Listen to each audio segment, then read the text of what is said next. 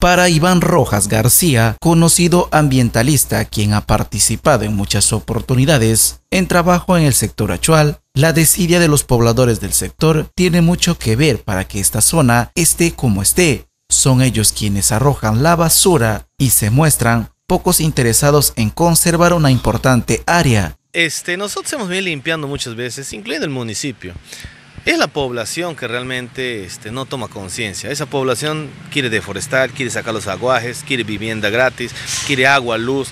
Yo creo que este, hay que comenzar a trabajar el tema de multas a través del recibo de agua porque la gente pues hace lo que quiere, es un lugar ancestral en términos ambientales.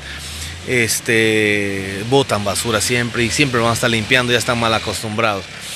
El, achual es un símbolo para todos los que somos de Tarapoto, todos los que hemos crecido cuando no hubo agua en tiempos difíciles íbamos a recoger ahí y realmente da pena. Refirió que en años anteriores esta zona era intangible y con la gestión Grundel se convirtió zona urbana, entonces hacen lo que quieren.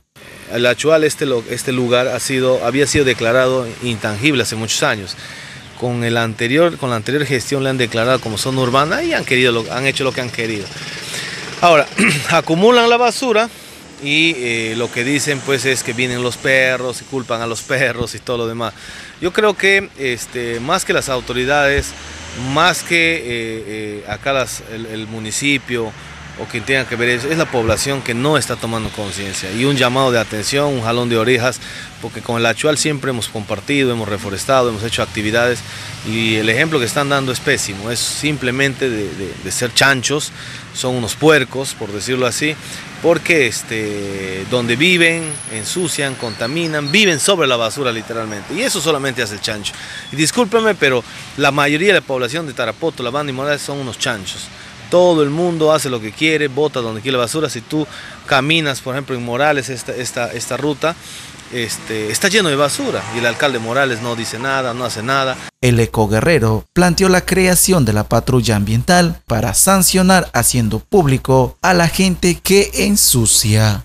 Por eso se ha planteado el escuadrón ambiental. Yo creo que la población debería también hacer patrullajes, deberíamos ya comenzar a agarrar y sancionar no con golpes, no, haciendo público estos contaminadores, sancionándolos de una u otra manera. Y para eso necesitamos gente, gente joven, gente que pueda estar vigilante y que podamos articular esfuerzos. En cualquier sector. En cualquier sector, eh, estos escuadrones ambientales, nosotros hemos presentado a través de ordenanzas, pero el municipio anterior no ha querido participar. Eh, hoy día estuvimos conversando con los regidores, esperemos que nos acepten.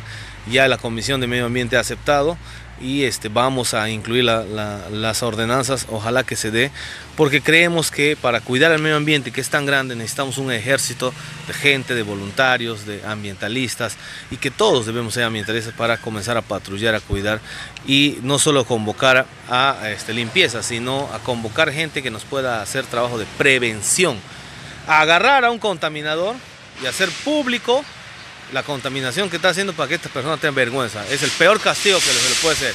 Y si es un restaurante y está botando su basura, sancionarlo con una multa y que la población sepa que es un cochino y que no debemos ir a comer a su restaurante. Esa es la única forma.